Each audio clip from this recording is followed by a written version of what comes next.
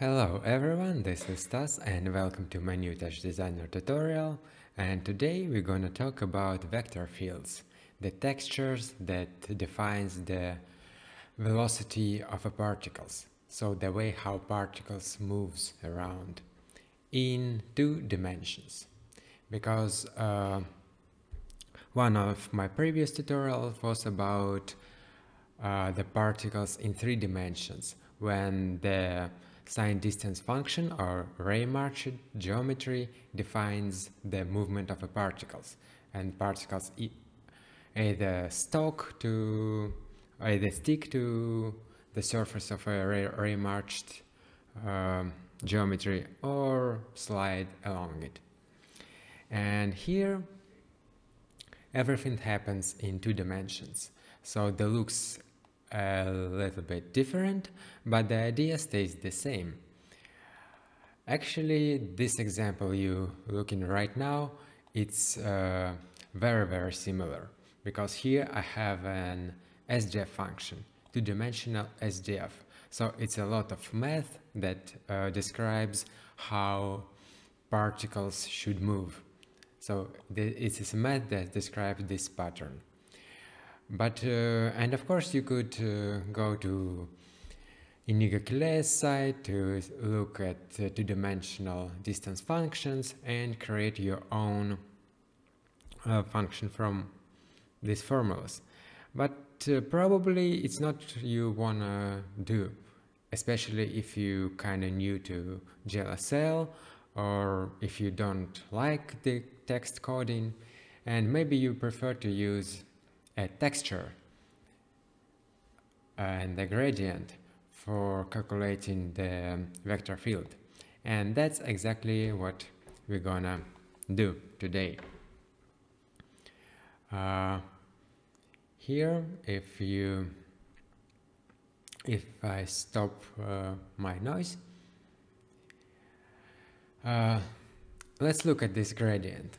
And let's say we want to calculate our a vector field in a way that uh, our particles moves uh, from the brighter spot to the darker spots.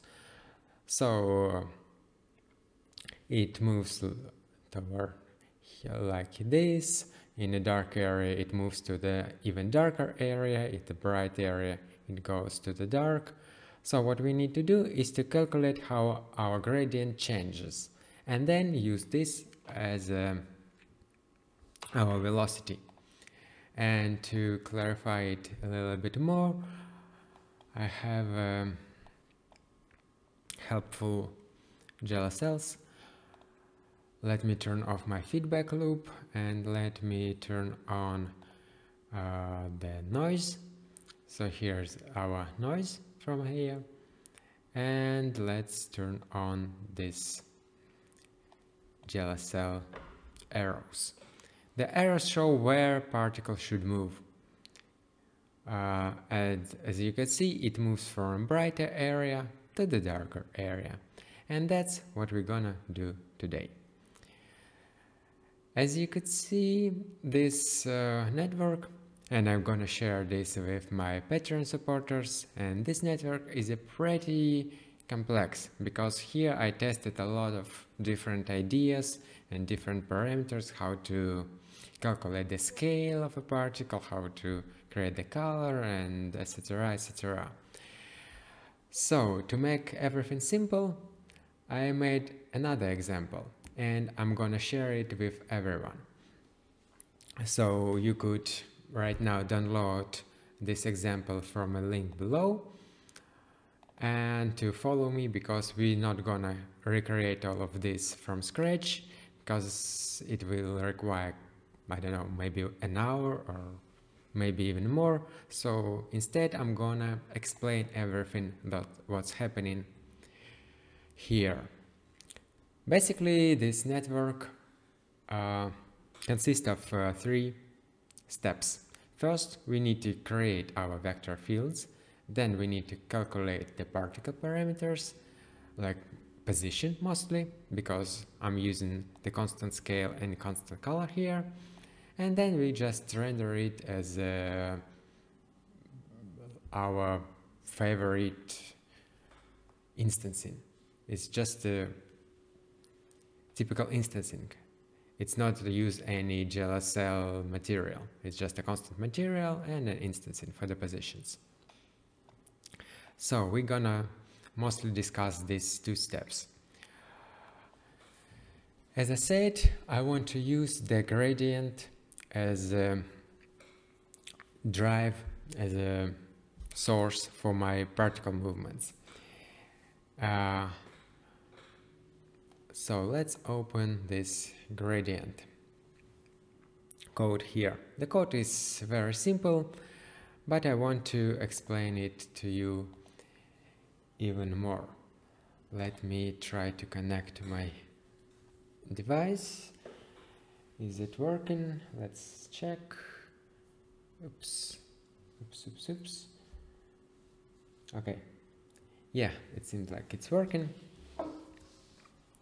Let's say we have a gradient here and uh, we sample, for example, our particle is in this dot, in this position. And uh, so to calculate the how the, the gradient is different, the difference in, in the gradient, we're gonna took, uh, we're gonna sample one pixel from the left, one pixel from the right, one pixel from the down, and one pixel from the up. So let's call it, uh, because our in GLSL the coordinates goes like this, from 0 to 1, so uh, it would be our x1, x2, y1 and y2 and uh, what we want to know is the difference between x1 minus oops sorry minus x2 and y1 minus y2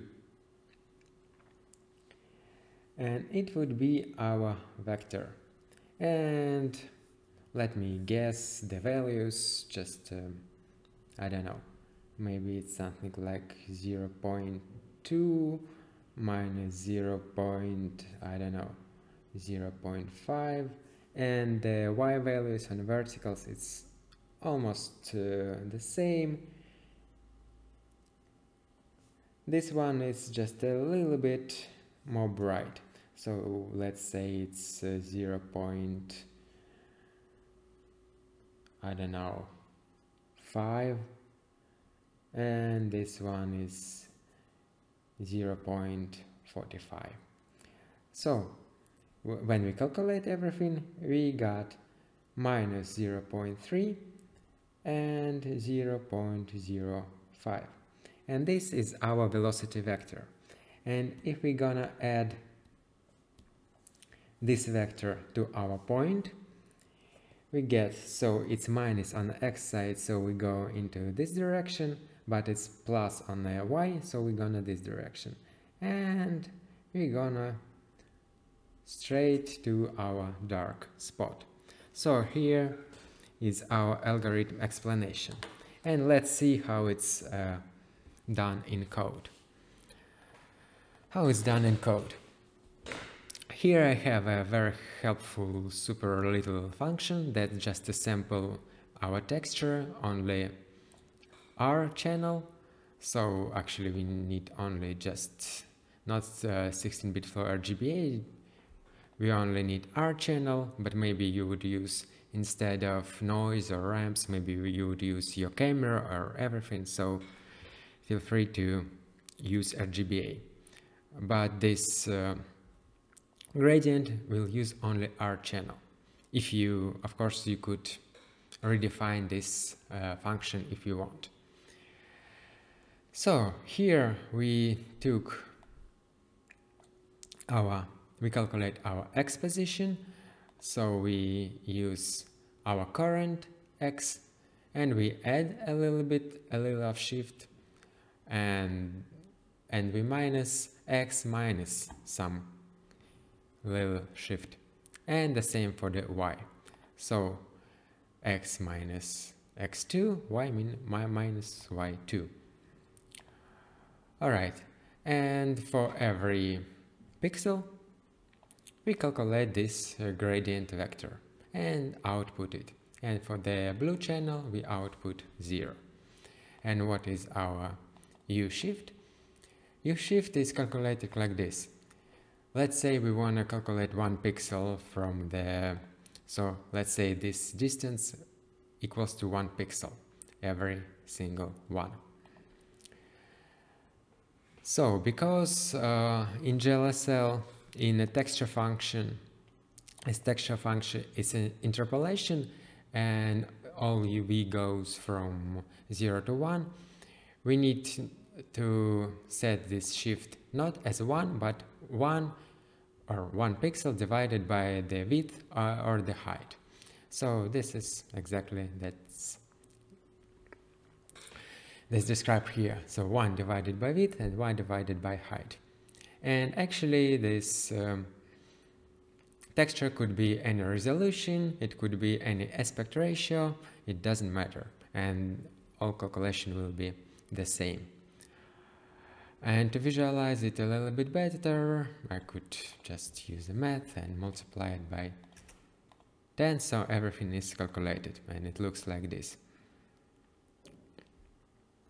Okay, and this would be our current velocity. For the position, for the default position, let me turn this, uh, let's not use feedback, let's use render. As our default position would be just a, a square from 0 to 1 and this is a very very simple GLSL it's actually almost a default so we just use a VUVST so here's our default position. And this uh, two top parameters is a noise. This noise is created between 0 and 1 and in the math I re rearrange it to 5 to 15 and then I will use this as an age for my particles.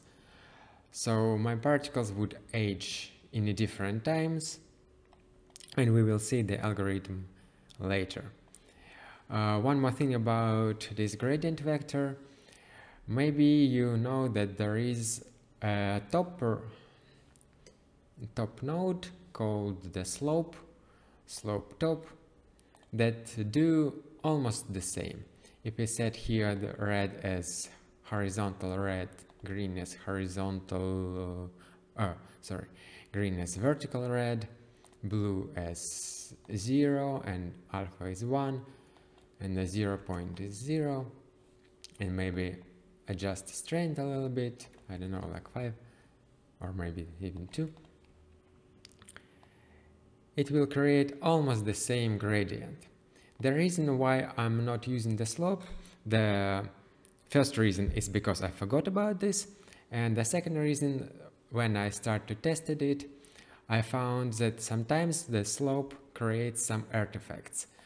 Uh, it's uh, not very often, usually the slope works without uh, artifacts, but here is um, my screenshot of an example where my gradient vector GLSL works fine while the slope create these ugly artifacts that of course will affect the velocity of the particles and we don't want to and we don't want that.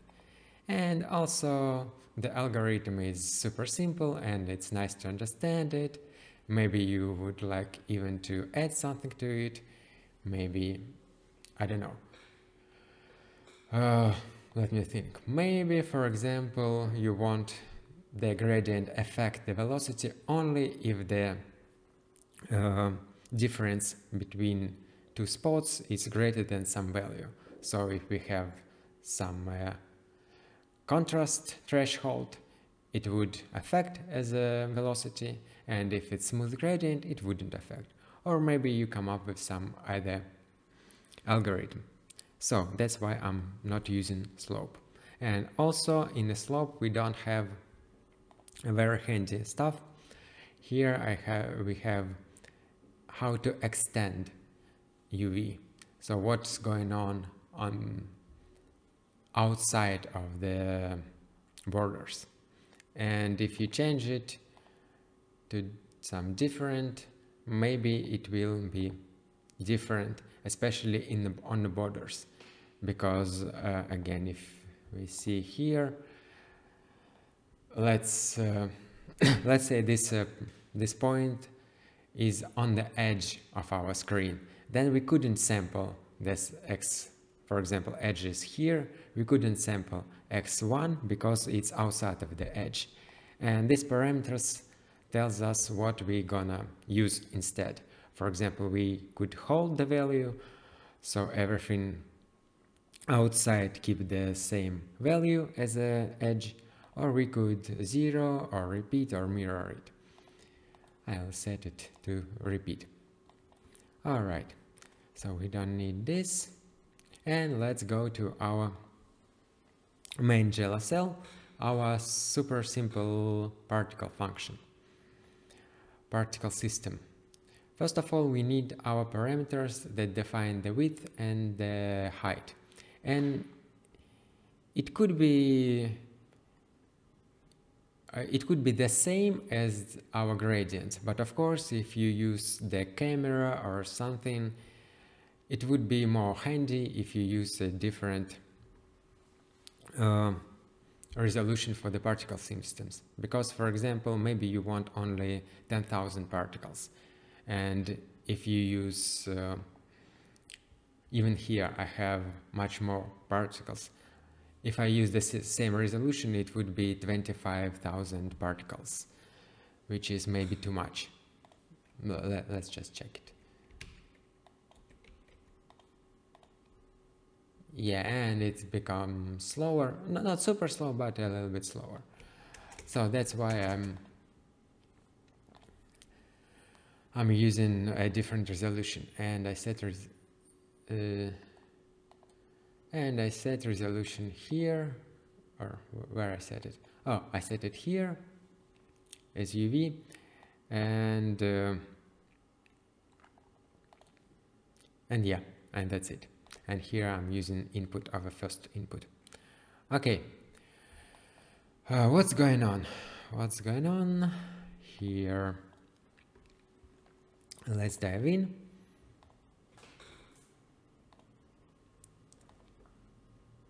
Um, as an input um, okay yeah as an input I had three inputs. First my first or my zero input is uh, current particle position and age because I'm keeping age as an alpha channel second input is the default position so when you hit the when you hit the reset button, it's the default position. And the third input is our velocity, or actually it's a velocity sum. And explain it a little bit later. So what's going on? Uh, for the position, we sample our position and the store because our position is just x and y, is two-dimensional. We use the red and green channel as our position and the alpha channel as our age. And for the velocity, I sample the third input, but not on VUV-ST, so not on the current position, but on this position, in the position of a particle. Why is that? Because, uh, let me turn on, because if I set it to VUV-ST, then my um, particle would always, uh, so the, uh, then this particle, for example, particle 0, 0, would always get the velocity from here, no matter which position it is. But uh, if instead we set a position here, then if our position uh, if our position is 0, 0, it took uh, velocity from the pixel 0, 0. If our position is 0 0.5, 0 0.1, we took a particle from a position, we took a velocity from a position 0 0.5, 0 0.1. I hope it's clear. I hope it's clear. Um,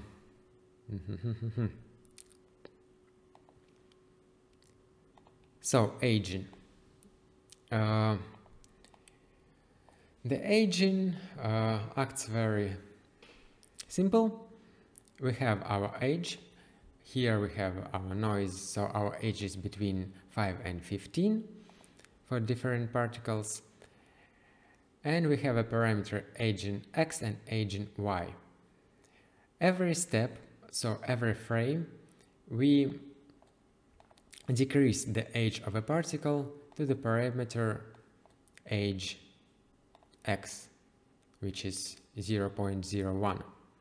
And we do it until the aging parameter goes below equals or below zero. And then if it's equals or below zero, we sample the position and age from the input 2 which is our default age position. So our particle reborn from here. Now uh, we add the velocity to the position, but not just the velocity. We multiply our velocity uh, two, actually three times. Why do we need to do this? Because uh, uh, it calculates uh, every frame. So it calculates uh, 60 times per second. And if every time we add a little bit of velocity, it will end up with very huge amount of velocity, even though the values here is quite small. So that's why we multiply our our velocity with two parameters. First of all, I use this EPS time step seconds, uh, which is 1 divided by FPS and multiply it to this. And I also use a second multiplicator because you could use only one, but uh, for example, 0 0.1. But if you want to, oh, not sorry, not, not here, 0 0.1, for example. But if you're gonna change this parameter a little bit, you need to 0.2. It, it's not super easy to do. It's, it's not convenient. So that's why I'm... Uh, oh, yeah. That's why I'm used two multiplicators. This one is like, say, doing it's, uh, main multiplication, and you usually need to change only this one just to check how much of a velocity you want. And the third parameter here is for our, it's as you could see, these two parameters with a velocity add to the position and then we multiply the velocity for the third parameter. What is this?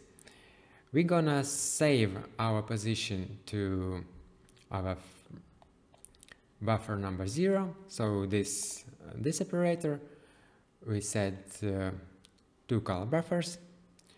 So here is our position and age. And on the second buffer, we store our velocity. And here, all of my velocity equals to zero because my parameter here equals to zero. If I set it to 0.5, it suddenly appear. And what and how are we gonna use this? We're gonna use this to add this our current velocity to our default velocity. So here is addition. You could choose the different operation. I'm just adding the current velocity with my older velocity. So my particles uh, wouldn't go instantly in new direction. It uh, keeps a little bit of inertia from the previous position and from the previous direction and previous velocity. Sometimes you want to do this and then you set how much of inertia should uh, you should have and sometimes you want to particle instantly change in position to the new velocity and then you keep it zero. Actually, I prefer it to keep it zero most of the time. So, uh, and yeah, and it fits here into feedback and we use the default velocity which is uh, zero. We add the current velocity and it calculates everything. And that's it. Very well not a super simple but I think it's something like a lower intermediate level of a code and it could be one of probably the first particle system you could write yourself as an exercise if you learn in GLSL. Next, uh, we need to feedback our position to our input. And I'm using the feedback top here. Let me turn off again this background. And I'm using here a feedback. But before feedback, you could uh, add any of the operators. One of the operators I like to use is the borders because uh, mm, oh yeah yeah yeah uh, sorry one also very important uh, thing about about this position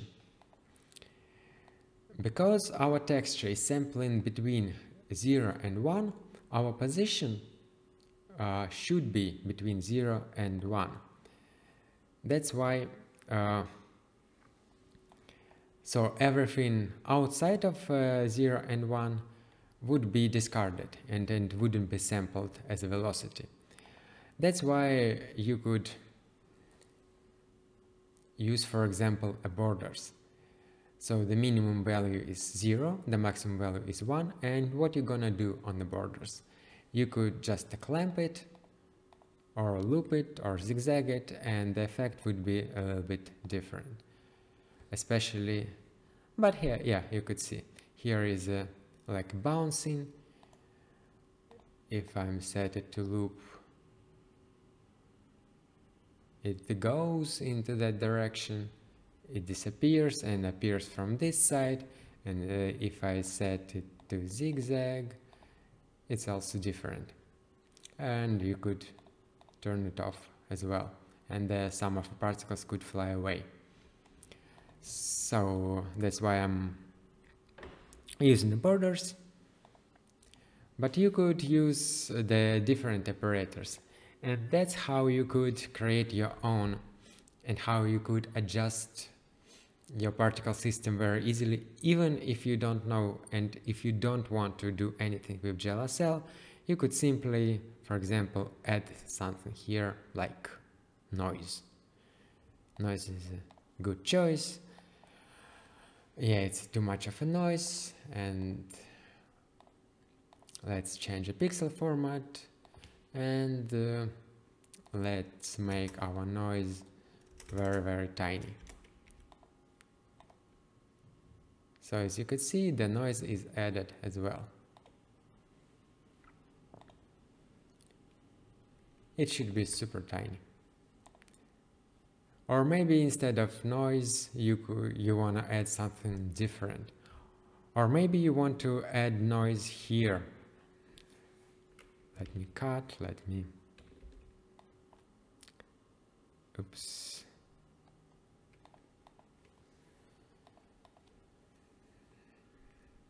Mm -hmm. Let me say... Let me add noise here and you, so you could add noise to the velocity or you could add noise to the position or you could uh, use uh, almost any of other operators to do something I don't know you could even do something super strange like I don't know what what would going on if I change the yeah, probably it wasn't. Uh, it's not a good idea, it's not working, so don't use HSV adjust. But you could use, I don't know, let's say math.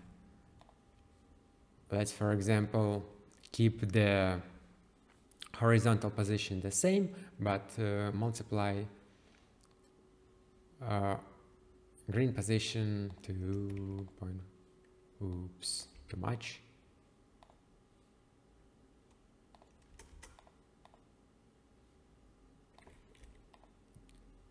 So you could stretch it in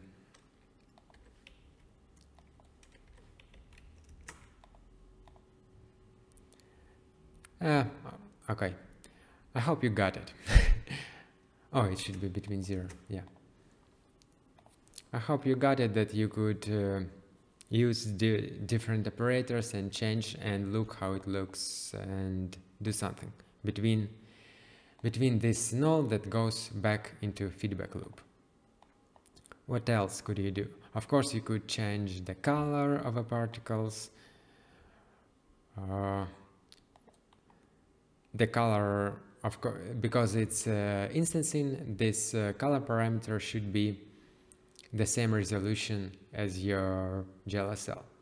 But let's see what else you could do. It's probably simpler to see here when I'm already I did it.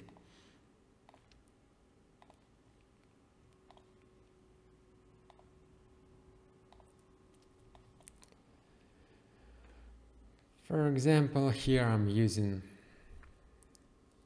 uh, movie file in with HSV adjust, but you, it could be a live input from a video. You could, as I said, add a noise to the particles and some border limits. You could experiment with all of these gradients and set different gradients. And also don't forget that you could define define the gradients not as uh, define the vector fields not as gradients but uh, as in two-dimensional uh, vector field two-dimensional SDF by the way this example is uh, from here. Is a FieldPlay. Is the same function. I just did a little bit of conversion but it's as you can see it looks almost the same. Well, I feed some parameters, but it's almost the same. And this is a project, you could uh, read about it. You could read about it on GitHub and get some different examples and maybe try to explore all of this. So, some other ideas. Uh, here I'm on GLSL, I'm storing only the particle position, age and the velocity. And I'm here I'm using the age as a scale. But you could uh, improve this GLSL code and also store here some, for example, scale. Maybe scale should be calculated from a velocity somehow. Or maybe you want to add the, uh, calculate the color inside GLSL and make uh, velocity uh, be affected by the affect the color. Maybe fast moving particles should be red and slow moving particles should be blue or something. And so on and so on and so on. So I hope uh, that will inspire you to do experiments with vector fields, with two-dimensional vector fields. And uh, we'll see you next time. And don't forget to subscribe and hit like button if you like it, hit dislike button if you dislike this tutorial, and download this example file. Or if you want to support me and download this file, you can go to my Patreon and check different stuff I have there. That's it for today. See you next time and bye bye.